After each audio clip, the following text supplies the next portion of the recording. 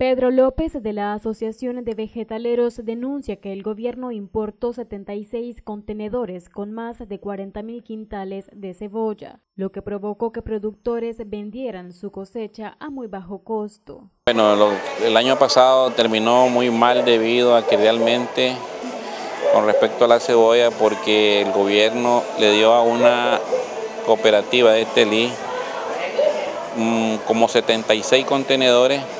y eso vino a abarrotar la plaza y llenar la plaza en el cual más afectó fue al nivel productivo, ya que los productores tuvieron que vender su cosecha a muy bajos precios y quedaron muy mal este año con los bancos, con préstamos. Y hay una situación bien grave en, lo que es todos los productores de este país en respecto a la cebolla.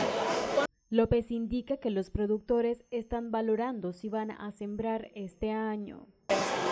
Los productores yo no sé si van a volver a sembrar cebolla porque con esta situación que se dio y esas irregularidades del gobierno de haber afectado el nivel de la comercialización de su producción y ver también afectado la comercialización de los importadores, esto prácticamente yo creo que los productores no están, no están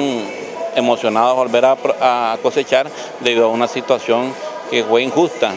y debido a que realmente habían condiciones que se habían dado a través de los ministerios de proteger el nivel productivo y en este caso no se protegió. En comparación con el 2018, ¿cómo fue esta situación? En el 2018 fue muy bueno para los productores porque ellos vendieron a buen precio su cosecha y no tuvieron problemas de, abundancia en los meses de diciembre, entonces su cosecha salió libremente, la vendieron al precio que fue justo y, y se beneficiaron bastante.